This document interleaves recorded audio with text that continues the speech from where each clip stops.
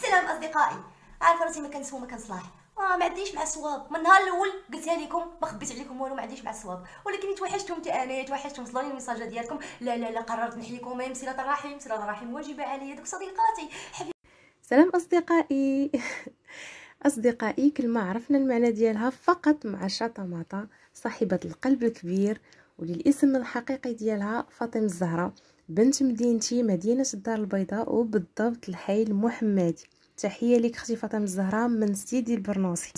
فين ما كانت شي جوقة شاطماطة تما. كتناضل من أجل تحري الخبر باش توصلوا لينا حنا بجميع التفاصيل.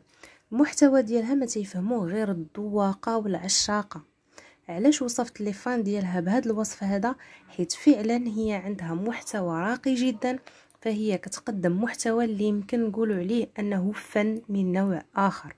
معالجة المواضيع والمشاكل الحساسة الآنية واللي تتهم الشعب المغربي بصفة خاصة بطريقة فكاهية ممتعة.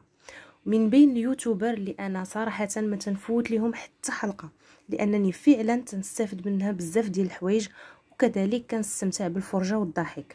الشخصية ديالها المرحة والقوية خلاتها تدخل قلوب المغاربة. وقلوب الناس بصفة عامة بدون استئذان كيف ما كيقول المثل. ولكن مخبية موراها بزاف ديال الكلام بزاف ديال الهموم. وكنا الحمد لله تنخبيو همومنا وراء ابتسامات الأمل. تصنت لواحد اللقاء صحفي كان دارته مع واحد القناة اللي تنشكرهم من هذا المنبر لأنهم قربونا أكثر لشخصيه فاطمة الزهراء وكذلك من خلال بعض الأشياء اللي حكاتهم لنا شطمطه على نفسها على دراستها عائلتها واخا كانت بطريقة فكاهية وطريقة هزلية. ولكن كان فيهم بزاف ديال العبر ووصلنا منهم بزاف ديال الرسائل واستفدنا منهم كذلك. هادشي اللي قلت في حق هاد السيدة هادي شوية من بزاف.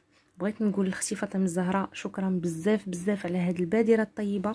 وأنا حبيت أنني نشارك فقط في المسابقة من حبي الشديد ليك. وكنتمنى إن شاء الله أنه يجمعني اللقاء بك في يوم من الأيام. السلام عليكم. عجباتكم زغموله لي؟ غنعاود نغني لكم ونصرحها لكم صافي. ولكن ما تقولوا حتى واحد تبقى بيناتنا زغمولة لي زغمولة لا زغمولة لي زغمولة لا زغمولة لي زغمولة لا.